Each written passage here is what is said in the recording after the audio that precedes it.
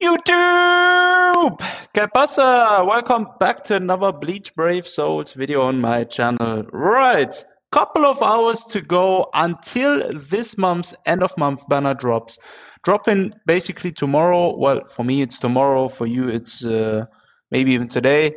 Uh, I don't know. So, anyways, the banner is dropping in a couple of hours, and yeah, I just want to do a quick recap, like before you summon, literally, because yeah, I'm not really feeling that banner, in my opinion. Obviously, it's nice we get in a pop uh, link slot uh, character, and it's nice we get in another power super potion farmer similar to Safi Kaname that basically has all skills. I'm talking about Yumichika. Um, nevertheless, um, bearing in mind that this banner is a seasonal Valentine's banner, so um, yeah, um, let, us quickly fly over the character. So obviously Orihime, uh, to sum it up, will be a very good barrier and boost unit, practically useful in every single guild quest week. Um, plus, she also has shared complete status immunity, which makes her even better um, as a booster, um, makes her even better as a booster uh, compared to others. Um, I'm not sure about her damage output, will remain to have to be seen. I mean, she does have reduced strong attack cooldown by 6%. Um, she has a Berserker base 40%, Havoc 20%. So she's actually a very good unit. Um, next up, we have Sun Sun. I mean, she has a Mind Link Slot Potion skill. Bro, that basically means. Yeah, what is it? What this is going to mean is basically you're going to be seeing everyone farming, and they will be saying, right, uh, Mind Link Slot Potion unit plus Link you know like some some some funny people play the game sometimes and they they have the weirdest weirdest requirements for people to enter their rooms. And i was like yo so my base advisement advice here is basically literally open your own rooms if you see stupid rooms like that. Yeah i mean I'm all about optimizing and farming the max and everything, but come on, man, don't be ridiculous. Like, not everyone's gonna pull for the banner. Not everyone has the character, so yeah, that is basically. But the way the game is going in future, you probably in the long or short term you will be needing those link slot potion units. So yeah, but if you at this point, if you guys are looking for an active community to play with and you can't be uh you can't bother using mind link slot potion units, then join my Discord. Links down below in the description. Um, we have a lot of people on the server that just play, and whenever you're looking for a company to play with, uh, there's always someone up. So yeah, definitely check that one out. But apart from that, Sun Sun is actually going to be useful um, in in terms of um, uh, farming uh, if you was to use a serve. But apart from that, the main role is only going to be a link slot character, and that's basically it. That's the entire reason she's being created for from from KLab. Next up, last but not least, we probably have the most valuable character in the game. Yumichika is very similar to Safu Kaname. Um, as I said, he does have bonus for technique for droplet supers and normal link slot potions for tech.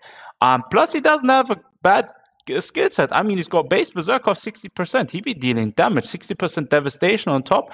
Is actually a good character, and he's actually the I think was it the second or the third character to have God Break plus Pierce Iron Skin in one skill. So I probably guess we'll be seeing more of this this year. Nevertheless, this Yumichika is actually the only one I want to go for as well. I'm not sure whether I'm gonna do a few steps on the main banner tomorrow or maybe in a couple of hours or if I'm going to wait for the solo banner.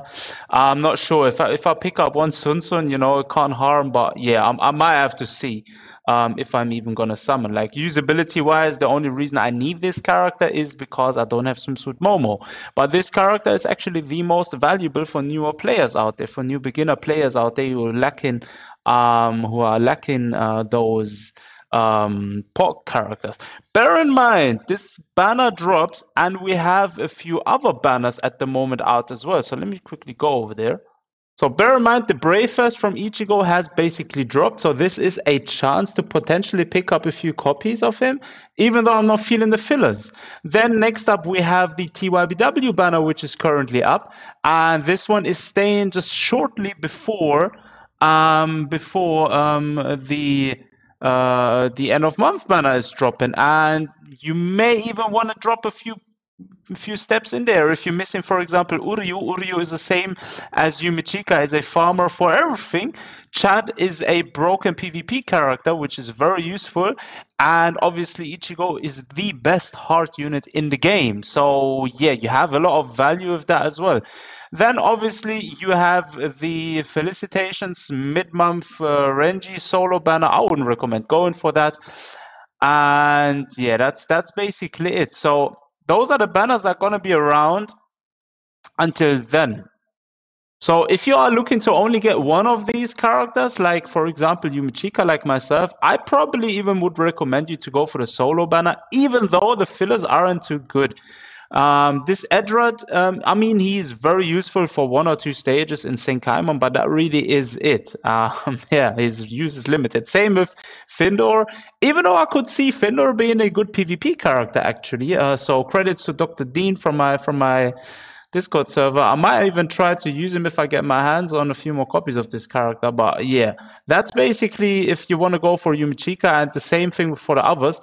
Um, generally speaking, if you're looking to get either one of those characters, then you might as well go for the main banner. Five steps never harm, um, as I always like to say. So that's 1,100 orbs there. Um, isn't too bad. Um, obviously, um, getting one of these characters, especially Yumichika, would be a very great value for your account, or same thing with Sun Sun.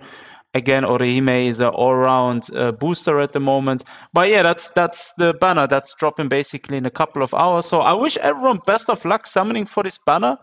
Um, do drop a comment down below. Let me know if you're even gonna summon on it or if you're gonna skip in it. Like personally, if you ask me, um, what I would have wished for for this end of month is like a triple Aizen banner or like a new Hollow Mask Ichigo or like a white or something, something crazy, something you know, like that gets me going. Like I usually like to summon for characters um, if their design suits me and if I like the character. You know, like I don't really just summon on any character for the sake of summoning. I'll only summon if I really want the character. If it's like a really busted character, um, then I usually go for it. But yeah, that's that's basically me. But obviously, everyone has different preferences.